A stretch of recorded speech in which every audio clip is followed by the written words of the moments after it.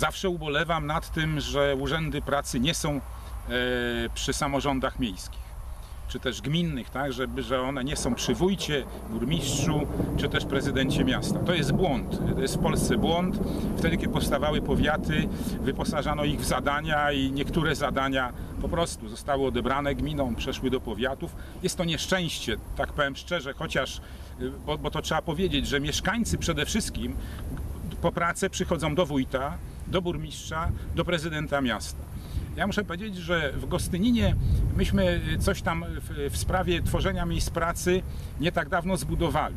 Y, 130 lokali, y, lokali handlowych w miejskim centrum handlowym i to miejskie centrum handlowe wraz z galerią już stoi gotowe, tam jeszcze jakieś ostateczne odbiory się w tej chwili odbywają. To oczywiście da zatrudnienie sporo osobom, czy rodzinom też, tak? Bo dlatego, że w, takiej galerii na przykład, czy w hali targowej, jeżeli ten handel się odbywa, czy usługi jakieś, bo też tam się będą odbywać, y, odbywa się od godziny, nie wiem, 9 do godziny 9 przez 12 godzin, to nie sposób, żeby jedna osoba, nawet dwie tam pracowała. Jeżeli weźm- weźmiemy tę liczbę lokali, jakie tam są do wynajęcia, zbudowany obiekt został po to właśnie, żeby tworzyć miejsca pracy, oczywiście przez samozatrudnienie przede wszystkim, czy jakieś mikrofirmy, y, samozatrudnienie, oczywiście własny biznes, do tego namawiamy, y, no to oczywiście myślę, że to jest gdzieś 300-350 miejsc, miejsc pracy.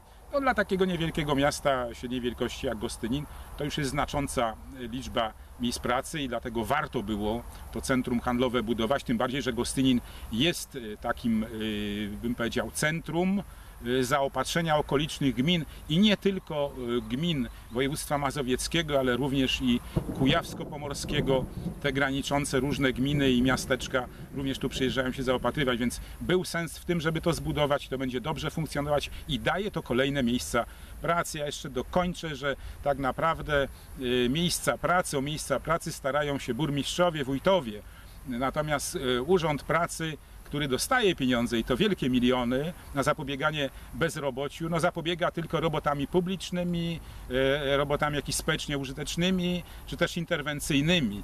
To myślę jest za mało. Gdyby mieli to w ręku wójtowie, gdyby w ręku mieli to burmistrzowie, prezydenci miast, te pieniądze na pewno o wiele, wiele więcej tych miejsc pracy zostałoby utworzonych.